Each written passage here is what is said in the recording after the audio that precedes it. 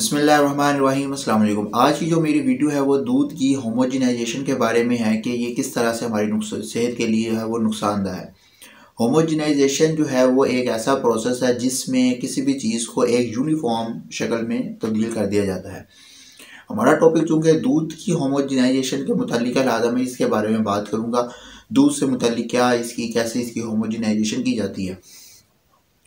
Normally جو دودھ کے اندر جو فیٹ کے گلوبیولز ہوتے ہیں، وہ بڑے سائز کے ہوتے ہیں اور اس کے علاوہ مختلف سائزز کے موجود ہوتے ہیں۔ ہوموجنائزیشن کے دوران یہ کیا جاتا ہے کہ جو یہ لارج فیٹ گلوبیولز ہیں، ان کو ایک جیسے سمال فیٹ گلوبیولز میں یونیفارملی تبدیل کر دیا جاتا ہے۔ اور یہ پھر سارے دودھ میں جو ہے وہ تقسیم ہو جاتے ہیں۔ اس پروسیس میں بہت جو دودھ کے دودھ کو ایک چھوٹے چھوٹے سوراخوں یعنی کہ اوپننگ میں سے پریشر لگا کے گزارا جاتا ہے۔ جس سے جو جو لارج فیٹ گروبیولز ہیں وہ ٹوٹ کر چھوٹے چھوٹے فیٹ گروبیولز میں تقسیم ہو جاتے ہیں۔ تو جب دودھ کو صحیح طریقہ پر ہوموجنائز کیا دیا جاتا ہے تو اس کے ٹاپ پر کریم نہیں آتی اور یہ ایک سٹیبل جو ہے وہ ایملشن بن جاتا ہے۔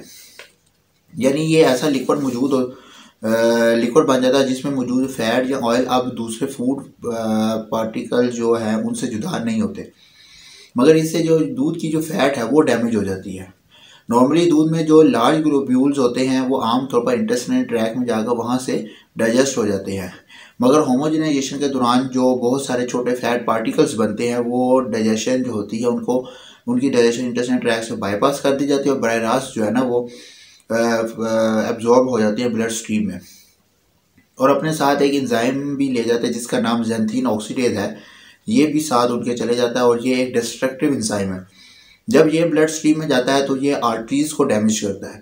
جب آرٹریز جو ہوتی ہیں وہ ڈیمیج ہوتی ہیں، وہاں پر آرٹریز میں لیجن بن جاتی ہیں۔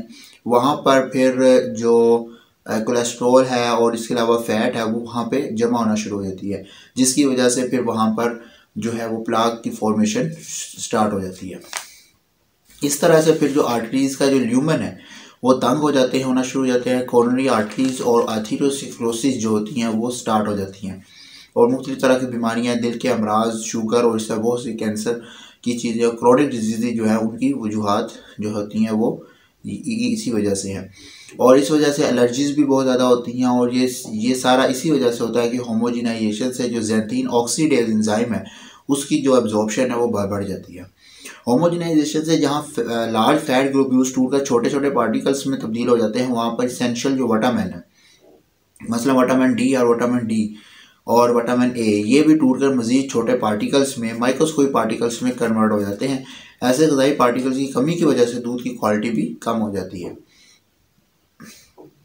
اس کے علاوہ ہوموجینائز جو ملک ہے، اس کے جہاں پہ فائدے مگر اس کے نقصانات جو ہیں وہ اس سے بھی بڑھ کر ہیں۔ لہٰذا کوئی بھی پروڈکٹ خریدتے وقت دیکھ لیں کہ اس کے اندر کوئی ہوموجینائزڈ چیز تو نہیں ڈلی ہوئی۔ بہت سی ملک پروڈکٹس ہیں، اس کے اندر ہوموجینائزڈ ملک وغیرہ شامل کیا جاتا ہے تو اس سے اوائڈ کریں۔ آخر میں اس ویڈیو کے یہی کہوں گا کہ آپ جو بھی خوراک استعمال کریں، وہ ہمیشہ نیچرل فارم میں ہو، قدرتی شکل میں موجود ہو، وہ خوراک استعمال کریں۔ Thank you very much